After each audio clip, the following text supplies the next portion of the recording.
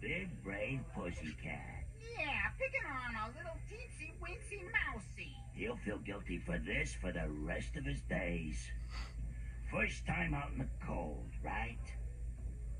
And instead of being pals, you're fighting like a cat and a mouse. They are a cat and a mouse, Puggsy. That's true, Frankie, but they gotta learn to be pals or they ain't gonna make it out here. True, too? All too true, too. Frankie the Flea is the name. I'm of French extraction. that just means before he met me, he lived on a poodle. I've been on the streets two years now. My owners left me behind when they moved. The name is Puggsy. What's yours? I'm Tom. I'm Jerry.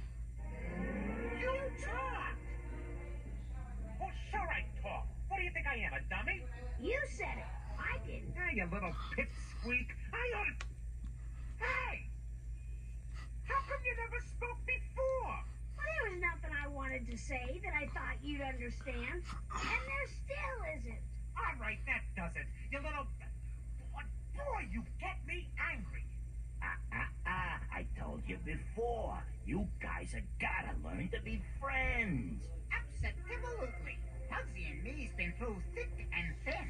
And thin and thinner. You gotta fight to survive. It's a dog-eat-dog world. Ah, that is not my favorite expression, Frankie.